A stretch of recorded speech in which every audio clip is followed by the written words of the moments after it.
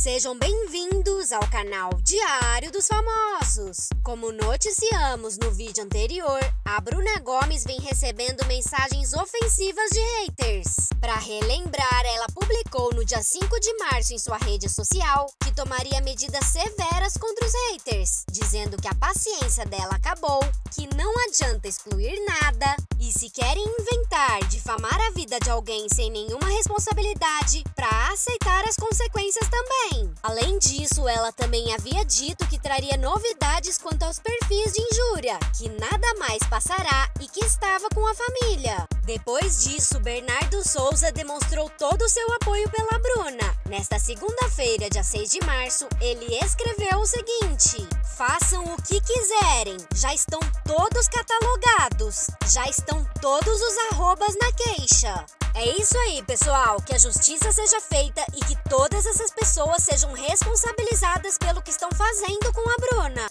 Deixem a opinião de vocês nos comentários sobre tudo isso que está acontecendo e um like no vídeo para ajudar o canal. Se inscrevam se ainda não são inscritos e ativem todas as notificações no sininho para não perderem nenhum vídeo sobre a Bruna